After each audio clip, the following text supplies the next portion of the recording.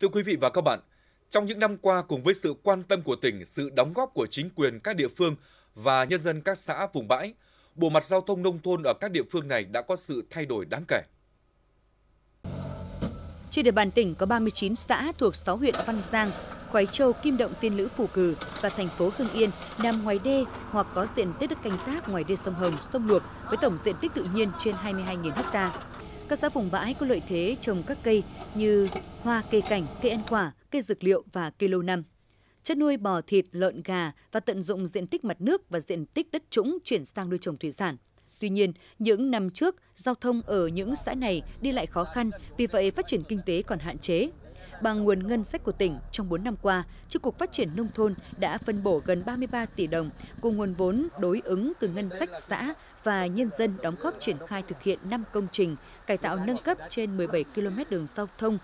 cho các xã vùng bãi, tập trung vào các khu vực, các vùng chuyên canh, hoa cây cảnh, cam quất cảnh tại xã Xuân Quan, Thắng Lợi, huyện Văn Giang, chuối, cây giống, nghệ tại xã Trí Tân, Tân Châu, huyện Quái Châu, rau màu, dưa lưới, dưa vàng tại xã Tống Trân, Nguyên Hòa, huyện Phú Cử. Chi cục phát triển nông thôn cũng đã đầu tư quan tâm cho Tống Trân trên 30 mét đường giao thông nông thôn. thông Trân đã chuyển dịch cơ cấu kinh tế vùng bãi rất là có hiệu quả. Đến thời điểm này để chúng tôi cũng đã đạt là thu nhập 47 triệu đồng trên người trên năm và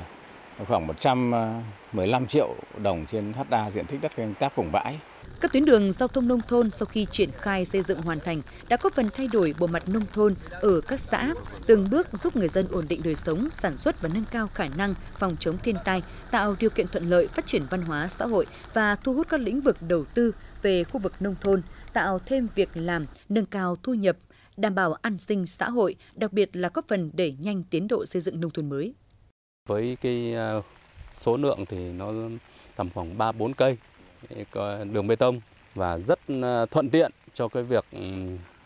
các phương tiện về thu mua các sản phẩm bà con, nhất là trong dịp Tết để tiêu thụ hàng hóa cây ăn quả, cây cảnh. Với cái vốn này của tỉnh à, hỗ trợ thì chúng tôi huy động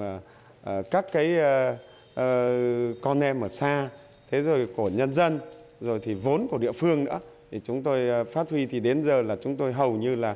của xã Tân Châu thì chúng tôi chuyển đổi toàn bộ sang là cái dịch vụ cây giống, cây trồng và phát huy cái ờ, cây ăn quả của địa phương là rất là tốt. Vì vậy hiện nay, ở các xã vùng bãi vẫn còn khoảng 30 tuyến đường giao thông nông thôn với chiều dài 32 km. Vì vậy, việc tiếp tục hỗ trợ các xã cùng nguồn vốn của địa phương và nhân dân đối ứng sẽ tiếp tục phát huy có hiệu quả những lợi thế vùng đất bãi, tập trung chuyển dịch cơ cấu cây trồng vật nuôi phù hợp với lợi thế từng vùng